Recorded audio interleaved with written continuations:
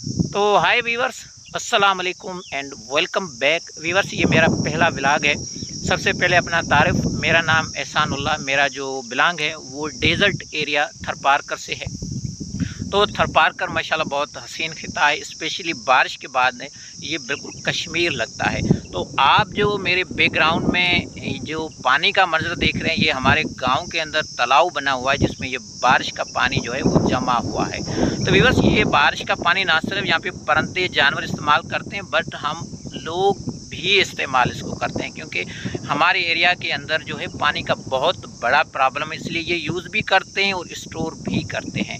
तो इन ताला मैं अपने पिछले ब्लाग्स के अंदर हमारे एरिया के जो नेचुरल व्यूज़ हैं, स्पेशली बारिश के बाद जो मंजर होंगे, वो आपको दिखाता रहूँगा तो इन आप देख के बहुत खुश होंगे। बट ये मुमकिन तब बनेगा जब आप लोग सपोर्ट करेंगे, प्यार करेंगे, मोहब्बत करेंगे।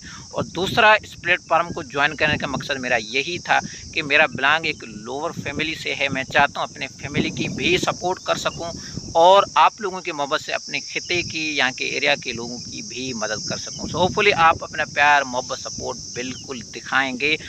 मेरे साथ एक मेरे दोस्त ने भी ज्वाइन किया है मैं उसका भी छोटा सा तारफ आपसे करवाना चाहूँगा। वालेकुम वालेकुम भाई क्या हाल चाल है? बहुत हसीन लग रहे हो आज माशाल्लाह हसीन मौसम में। हाँ भाई बारिश है उसके वजह से हम बहुत खुश हैं। हम्म। हमारे लोग भी वो बारिश की वजह से तम, तमाम बहुत खुश होते हैं। जी हाँ भाई ने बहुत किए यहाँ पे ना सिर्फ़ परंदे जानवर बट बट आदमी लोग जो है ना वो भी माशाल्लाह बहुत हसीन है।